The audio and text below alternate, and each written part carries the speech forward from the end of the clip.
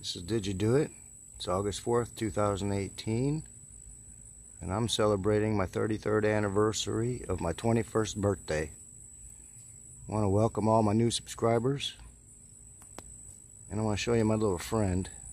But first, I want to talk about that meteor that was shot over uh, over Greenland.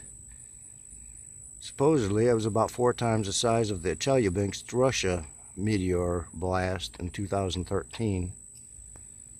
And that was brighter than the sun, according to witnesses.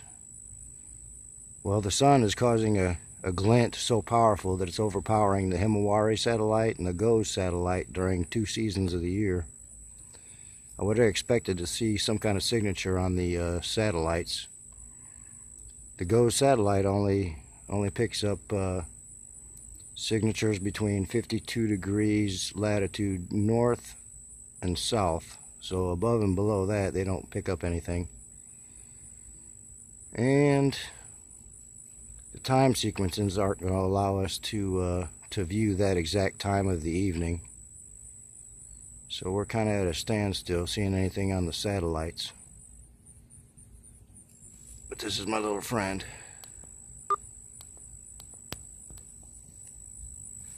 see how close it let me get you. I'm gonna do some more due diligence, due diligence on that uh, meteor. The first thing, first reason I called it foul was the words, first words in the article was from credible sources. It uh, kind of gets me. And then the uh, the the Twitter, the copy of the Twitter report didn't come out till August 1st, which uh,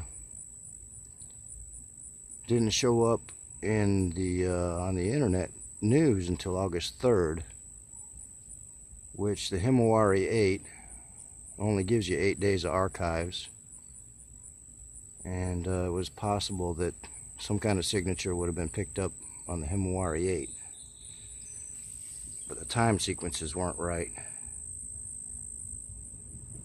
See how close he lets me get. Something else I'm working on is our little friends, the moons. All the moons floating around. When I first thought, saw the meteor report, I thought maybe they were shooting at one of our little moons. But it turns out this meteor they shot down was uh, only like 26 miles above the Earth. Something like that. That's well within our atmosphere. Anything below 50, 52 miles, the Earth's gravitational pull won't allow it to remain in orbit. So that boy was coming down. I'm about to, to declare the U.S. is no longer a superpower. If they can't detect something until it's 26 miles above us, we're fucked. Pardon my vernacular.